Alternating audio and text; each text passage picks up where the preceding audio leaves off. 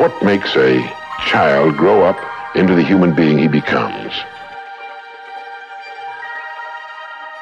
Of course, he's the confluence of a, of a genetic pool that goes back for thousands and thousands of years. His environment has an influence on him, of course. But what makes him become the person he becomes is that he becomes what he thinks about most of the time. It's as simple as that. We become what we think about most of the time. And that's the strangest secret. Paradigm. It's a mental program that has almost exclusive control over our habitual behavior, and almost all of our behavior is habitual. It controls almost everything we do.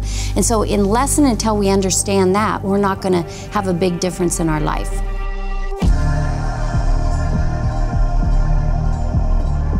Most people tiptoe through life, hoping to make it safely to death.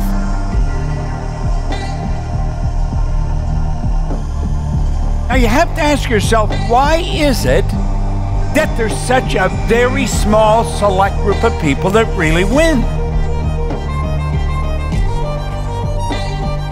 Something is in you wants to express itself in a greater way and you're not letting it out.